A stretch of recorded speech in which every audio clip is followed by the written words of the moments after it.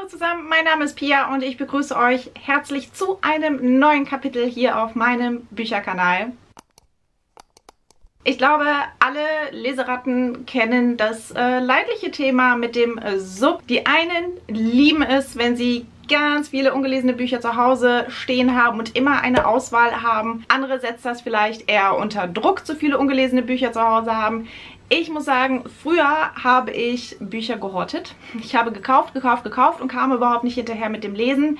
Und da hat sich bei mir ein Sub angesammelt. Ich glaube, meine Höchstzahl war 100 und dann habe ich aber drastisch oder versucht zu reduzieren und viel weniger zu kaufen. Und heute muss ich ganz ehrlich sagen, ich habe gar keine Ahnung, wie hoch mein Sub ist. Ich habe aber einige ungelesene Bücher in meinem Regal stehen und auch einige davon schon sehr lange. Ich hatte ja vor einigen Jahren schon mal einen Booktube-Kanal. Die Videos dazu sind auch tatsächlich noch online. Ich verrate an dieser Stelle nicht den Kanalnamen, weil bei manchen ähm, ja, gucke ich mir einfach nicht mehr so gerne an. Falls jemand da draußen aber wissen sollte, welcher Kanal das ist, schreibt mir mal gerne in die Kommentare, ob ihr äh, ja die alten Videos noch kennt. Was ich heute machen möchte, ist, ich möchte überprüfen, ob ich noch aus einem meiner allerersten Bücherhauls auf meinem alten Booktube-Kanal noch Bücher ungelesen hier stehen habe.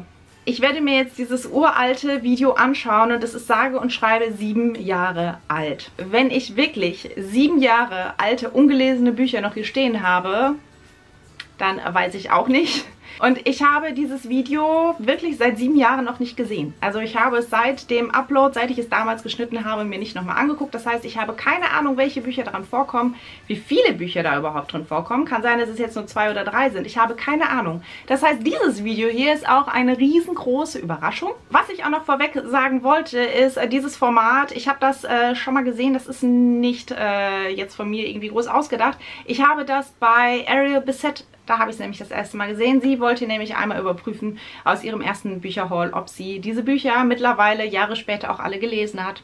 Und ähm, das dachte ich, das wäre doch eine super gute Idee, das auch auszuprobieren und zu testen. Und ich habe mir nämlich jetzt vorgenommen, wenn tatsächlich noch Bücher hier ungelesen von vor sieben Jahren stehen, werde ich sie als nächstes lesen. Sie kommen auf jeden Fall auf meinen To-Be-Read-Stapel. Das konnte ich jetzt nicht aussprechen. Diese Bücher kommen nämlich definitiv dann auf meinen To-Be-Read-Stapel und ähm, ja, ich höre auf zu quatschen. Wir legen los. Ich äh, blende euch hier irgendwo das äh, Video ein. Ich werde es mir auf meinem Handy anschauen, deswegen verzeiht bitte, dass ich jetzt nicht in die Kamera schauen werde, während ich mir das Video anschaue. Nochmal vorweg, die Qualität ist grausam. Ja, seid euch dessen bewusst, das ist sieben Jahre alt. So, los geht's. Ich bin echt, ich weiß nicht warum, aber ich bin echt ein bisschen nervös keine Ahnung. Ich, mir graut es davor, wenn ich jetzt sehe, dass da echt noch ungelesene Bücher bei sind. Hallo zusammen, heute ist Freitag, was für viele sicher ein Grund zur Freude ist. Mich betrifft das leider eher weniger, weil ich auch trotz Wochenende äh, hinterm Schreibtisch werde sitzen müssen. Aber ich freue mich trotzdem, weil ich... Ich muss schon mal pausieren. Ich sehe so jung aus. Oh, krasser Scheiß. Ja, okay, es ist sieben Jahre her in den letzten Wochen ganz, ganz viele tolle Neuzugänge äh, bekommen habe. Sehr viele schöne Bücher sind bei mir angekommen. Ähm, und das sind, eigentlich sollten es im, im April gar nicht so viele werden, aber ich habe nämlich das Tauschen für mich entdeckt, was äh, ich lange, lange Zeit gar nicht für mich in Betracht gezogen habe, weil ich eigentlich alle Bücher, die ich lese, auch immer behalten wollte und im Regal äh, stehen haben wollte. Geht nicht. Äh, ich habe dann aber einfach irgendwann gemerkt, dass habe ich zwei ähm, Bücher zur Rezension bekommen. Ey, dann habe ich die mit Sicherheit äh, schon gelesen. Das eine habe ich letztens schon vorgestellt und auch schon rezensiert. Das ist dieses hier, das ist Oracle. Das habe ich auch gar nicht mehr. Das habe äh, ich mittlerweile, ich glaube, vertauscht. Und, Oder im ähm, Bücherschrank gestellt, ich weiß nicht mehr. Habe ich eine. Ähm, dann habe ich bekommen, und zwar hat mir das der Goldmann Verlag zur Rezension ähm, zugeschickt, worüber ich mich sehr gefreut habe, auch wenn ich da anfangs ein bisschen skeptisch war. Und zwar ist das ähm, Sternenseelen, wenn die Nacht beginnt. Von Auch gelesen, ist klar. Waren Rezensionsexemplare. Und ich war zuerst skeptisch bei diesem Buch, weil... Äh, ich muss vorspulen. Es ist einfach so viel Gelaber. Ich kann das gar nicht mehr sehen. Okay. Ich habe mir ein englisches Buch ertauscht, ähm, das ich schon lange, lange lesen wollte. Eigentlich ursprünglich auf Deutsch, aber dann wurde es mir auf Englisch angeboten. Und ich habe im Moment wieder so eine Phase, wo ich sehr, sehr gerne auf Englisch lese. Deswegen habe ich mich da auch sehr darüber gefreut. Und zwar ist das von Sarah Beth Durst, Enchanted Ivy. Auf Deutsch heißt es, glaube ich... Habe ich auch schon gelesen. Habe ich auch noch hier in meinem Regal stehen. Geschichte einfach super toll klingt. Und zwar ist das kommt das nächste Buch. Düsteres Verlangen von Kenneth Oppel.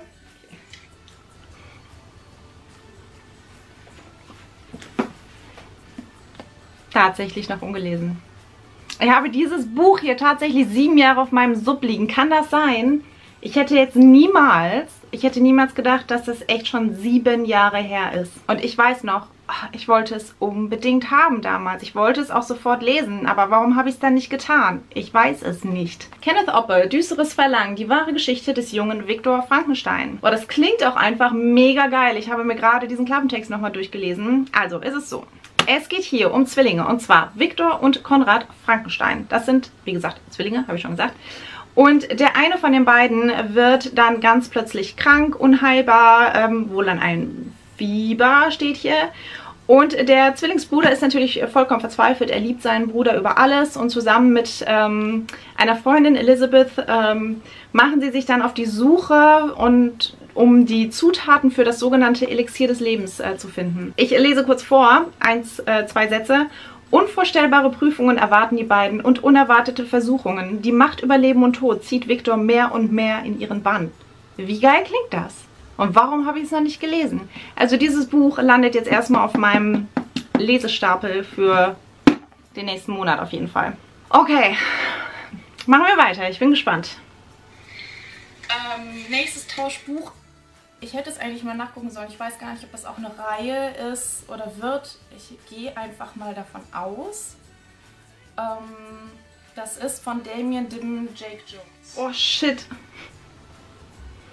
Das habe ich auch noch nicht gelesen. Es gibt's doch nicht. Hier ist es. Jake Jones und die Hüter der Zeit.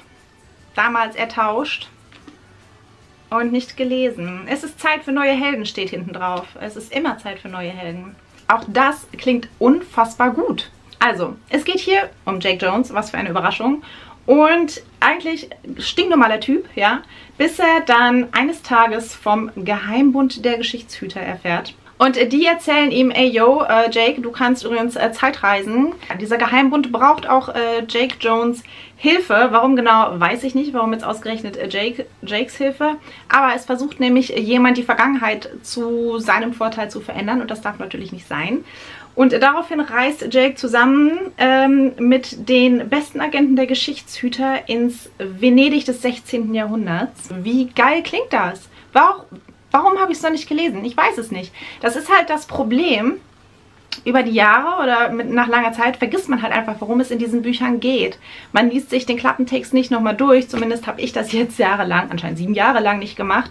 Und jetzt lese ich das und denke einfach nur, boah, wie geil. Das klingt dermaßen gut. Ich habe aber auch tatsächlich gar keine Ahnung, ob hierzu weitere Teile erschienen sind. Weil ich nehme mal an, es ist eine Reihe. Es sieht zumindest ganz ähm, danach aus. Das werde ich mal recherchieren.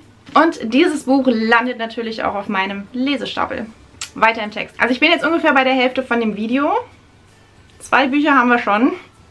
Mal gucken, was noch kommt. Aber ich habe jetzt auch festgestellt, dass ich damals es mit dem Schneiden noch nicht so drauf hatte und einfach ewig gequatscht habe.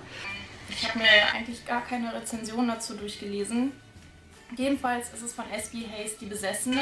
Habe ich gelesen. Yes. Und, ähm, ich finde schon allein dieses Giftgrün hier. Habe ich mittlerweile auch gar nicht mehr. Auch das, weil das, ähm, das hatte ich ja auch ertauscht. Und es war nämlich ein Leseexemplar, deswegen habe ich das, glaube ich, damals in einen Bücherschrank gestellt. Meine ich. Ein letztes Tauschbuch habe ich noch. Und ähm, da freue ich mich auch so genial drüber, obwohl ich sagen muss, dass ich da über den Zustand ein bisschen ähm, ein bisschen enttäuscht bin, weil mir da gar nichts... Es sieht halt einfach insgesamt sehr zerlesen aus. Es ist sehr rund gelesen mit vielen Leserinnen. Aber ich meine, im Prinzip, ähm, man kann das Buch ja trotzdem lesen. Es sieht dann halt nicht Kommt nicht zum Punkt, ne? Und ich gebe zu, ich bin auch nicht eine, die jetzt irgendwie Bücher ganz, ganz vorsichtig liest, damit da bloß keine Leserin reinkommt. Deswegen, eigentlich soll ich mich ja nicht so anstellen. Aber jedenfalls ist es mein erstes Zombie-Buch. Ah, und zwar ist das ich weiß welches. Feed Viruszone.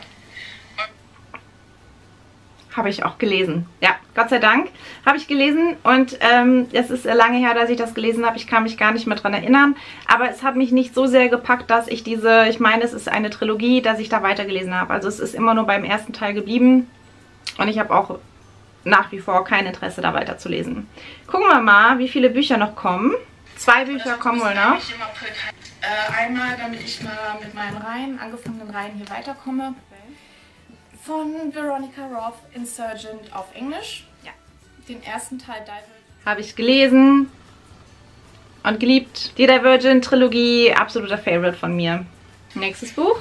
Ähm, Alice im Wunderland. Boah. Alice, Alice's Adventures in Wonderland okay. Stories. Nope.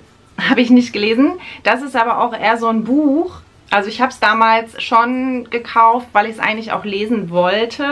Aber hauptsächlich war das halt so ein Coverkauf und so ein, ich möchte es gerne in meinem Regal stehen haben, Kauf. Weil es sieht einfach wunderschön aus, dieses Buch. Das habe ich nicht hier stehen, sondern im äh, Wohnzimmer stehen.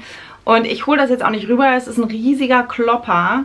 Und da mache ich jetzt eine Ausnahme. Und ähm, werde das nicht auf meine Leseliste für den nächsten Monat setzen, weil das ist einfach echt so ein Schinken mit ähm, ganz, ganz dünnen Seiten. Aber das war's wohl mit den neuen Büchern aus diesem Video.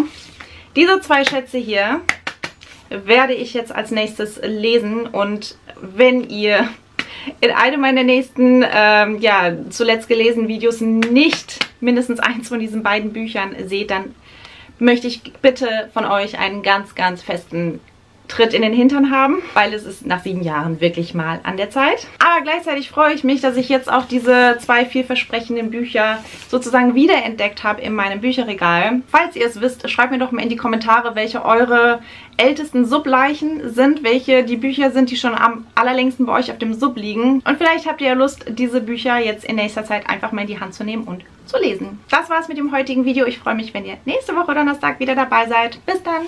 Tschüss. Kann ich drehen? Ha! Ja, ich kann es drehen. Oh, okay. Lava, lava, lava. Ganz toll fand, dass sich die Tauschpartnerin... Er ist vor kurzem auch der zweite Band zu erschienen. Also es gibt einen zweiten Band? Okay, das wusste ich nicht. Also ich wusste es anscheinend schon.